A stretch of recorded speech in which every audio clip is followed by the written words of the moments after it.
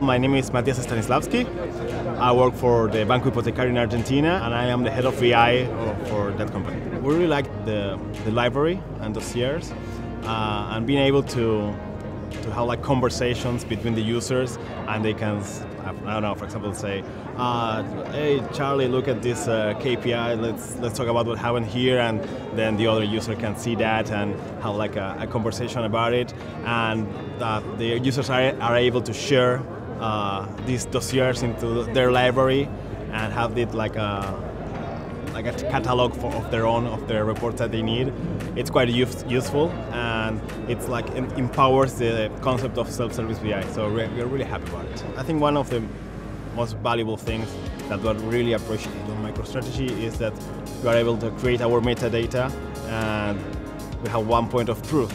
So all of the users know that whatever they have on the metadata, on all the dimensions and all the KPIs that they see, is the truth. It's what we have, what we want them to see, and what it's already governed by, uh, by our CDO. And that's the, the main advantage that we see on MicroStrategy. In other tools, maybe you are able to program reports and then you can like modify a lot of stuff uh, in the report, and then you don't have a, a like a, a total truth. You have something like.